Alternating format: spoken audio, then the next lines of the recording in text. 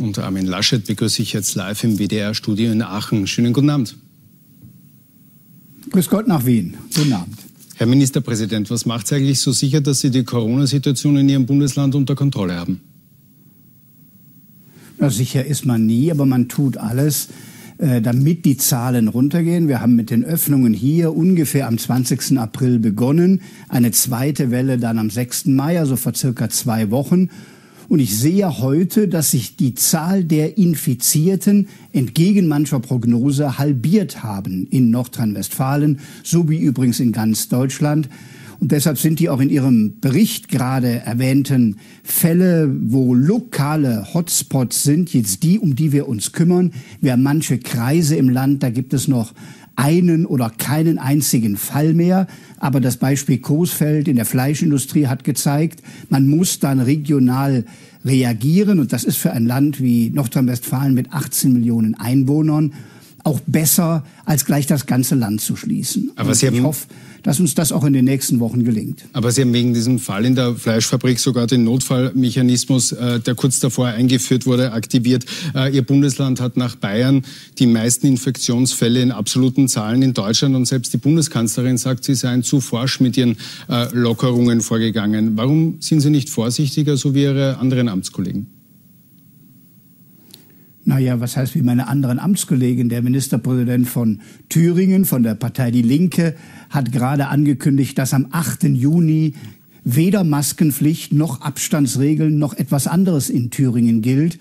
Und wir haben in fast allen deutschen Ländern, übrigens auch in Bayern, ähnliche Bedingungen wie in Nordrhein-Westfalen. Es gibt gewisse Unterschiede in der Zeitfolge, wann man was umgesetzt hat, aber die Maßnahmen sind weitgehend identisch, Schritt für Schritt tastend zu sehen, wo können wir auch äh, Lockerungen wieder ermöglichen. Und mir war in der ganzen Krise, in den ganzen letzten Wochen immer sehr wichtig, wir müssen abwägen.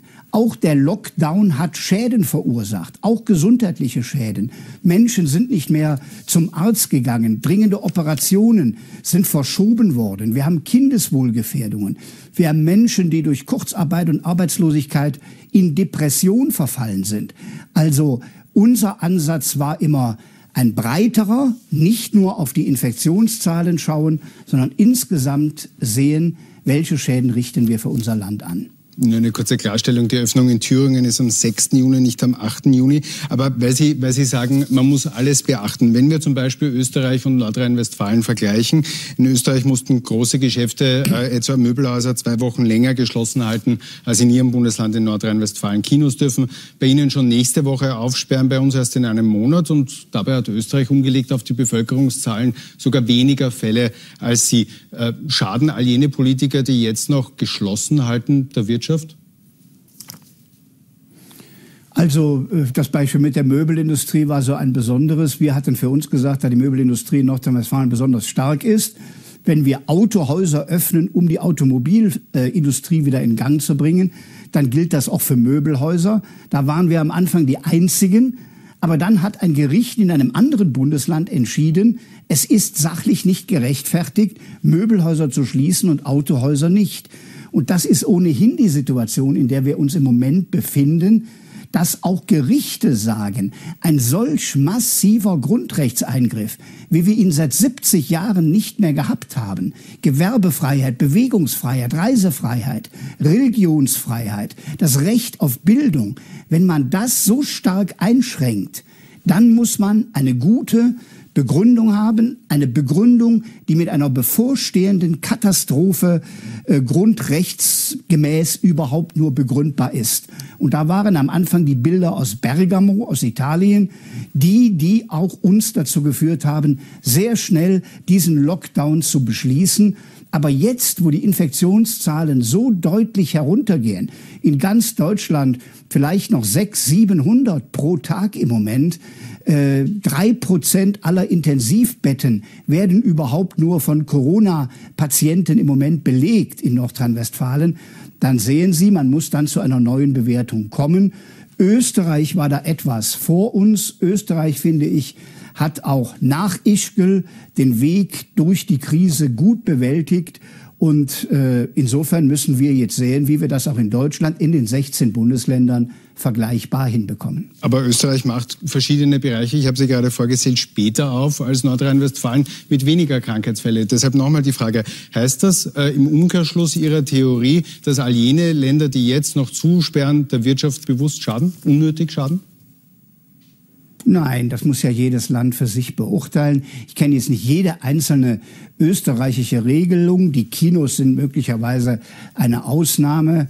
Äh, aber ansonsten ist das Geschäft, das Restaurantleben in Österreich wieder da. Äh, die Gastronomie hat geöffnet, bei uns unter ganz strengen Voraussetzungen. Äh, aber man muss jedem Ladenbesitzer, dem man untersagt, seinen Laden zu öffnen und wo man zum Teil auch Existenzen gefährdet, schon erklären, warum man das macht. Und wir tun das für unseren Teil so verantwortungsvoll es irgendwie geht. Und ich nehme das auch an, dass das die Österreicher genauso machen. Ein großes Thema dieser Tage ist ja äh, ein Deal, den äh, Angela Merkel und der französische Präsident Macron geschlossen haben, ein Hilfspaket in der Höhe von 500 Milliarden Euro für die besonders betroffenen Gebiete, also vor allem Italien und Spanien. Das Besondere darin ist, es sollen echte Zuschüsse sein und keine Kredite. Ähm, ähm, alle EU-Länder nehmen also jetzt Kredite auf und überweisen das Geld als Zuschuss diesen äh, Ländern. Ist das nicht eine Vergemeinschaftung der Schulden, vor, denen, vor der auch immer die CDU gewarnt hat? Nein, das würde ich nicht so sehen. Vergemeinschaftung der Schulden hat ja in der gesamten Phase, seit wir den Euro haben, gemeint, dass erstmal jedes Land für seine Schulden haftet und auch für seine eigene Finanzpolitik haftet und es verpflichtet ist, sich im Rahmen der Maastricht-Kriterien zu bewegen. Da konnte man individuelle Schuld eines Landes ablesen. Wir sind aber jetzt in einer Lage in Europa, dass die Pandemie alle Länder unverschuldet getroffen hat in unterschiedlicher Intensität. Und aus meiner Sicht haben wir in den letzten Wochen ohnehin zu viel nationalstaatlich agiert. Das Grenzschließen beispielsweise war ein nationaler Reflex. Bei uns ist es hier gelungen, dass wir die Grenze zu Belgien und den Niederlanden immer offen gehalten haben, aber über die Grenze hinweg gemeinsam das Gesundheitsmanagement und die Pandemiebekämpfung äh, vorangebracht haben. Jetzt werden Grenzen Stück für Stück wieder geöffnet. Da kommt Europa ein Stück zurück. Aber jedem ist klar, insbesondere in Deutschland, dass wir in Deutschland, und ich glaube für Österreich gilt das ähnlich, nicht wieder wirtschaftlich auf die Beine kommen, wenn nicht ganz Europa stark ist, wenn nicht auch Italien, Frankreich, Spanien und die anderen Mitgliedstaaten zu alter Stärke zurückfinden. Und deshalb ist das eine historisch einzigartige Situation. Wir brauchen ein großes Volumen Geld, um jetzt die Länder zu stabilisieren. Und nur dieser eine Fall, für den werden jetzt Kredite aufgenommen, mit dem einzigen Zweck, den Binnenmarkt wieder handlungsfähig zu machen. Die Aber Altschulden, die jedes Land hat, sind davon nicht betroffen. Insofern wird da auch nichts vergemeinschaftet. Aber dieser Deal hat äh, scharfe Kritik gebracht von vier Ländern, darunter auch Österreich, äh, aber auch die Niederlande, Schweden und äh, Dänemark. Äh, die warnen eben vor so einer Schuldenunion und Ihr Kollege Norbert Röttgen äh, kritisiert wiederum vor allem Österreich und Sebastian Kurz dafür und nennt die vier Staatschefs in der morgigen Süddeutschen Zeitung die geizigen Vier und deren Vorschlag eine einzige Provokation. Sehen Sie das wie er? Also ich finde, diese Adjektive helfen nicht weiter. Am Anfang sind die vier Länder hier in Deutschland auch beschrieben worden als die sparsamen vier, äh, so als wären Deutschland und Frankreich nicht sparsam. Also weder das Adjektiv sparsam noch geizig ist richtig. Man muss eine sachgerechte Lösung finden. Und ich teile eher die Position, die Angela Merkel und Emmanuel Macron entwickelt haben den Ländern, die ohnehin schon Schulden haben, jetzt noch neue Schulden aufzubürden, ist eigentlich nicht die Antwort, die wir in der Krise brauchen. Ich denke, dass in der nächsten Woche ja die Europäische Kommission auch einen Vorschlag machen wird. Dann wird man auf dem Europäischen Rat sich verständigen müssen. Und möglicherweise gibt es eine Mischung aus beidem, dass man bei einem Teil äh, noch darüber nachdenkt, auch Kredite zu geben. Aber ich glaube, in der jetzigen Phase brauchen wir einen substanziell starken Beitrag, wo alle gemeinschaftlich Kredite aufnehmen, damit die ganze Europäische Union wieder handlungsfähig wird. Und das gilt jetzt mal im nationalen Eigeninteresse für Deutschland und Österreich und andere Länder, die sehr viel exportieren Dass Europa stark wird, gilt aber umso mehr im Wettbewerb mit den USA und China. Wir erleben doch, dass das die Weltmächte sind, die im Moment sehr viel Einfluss ausüben.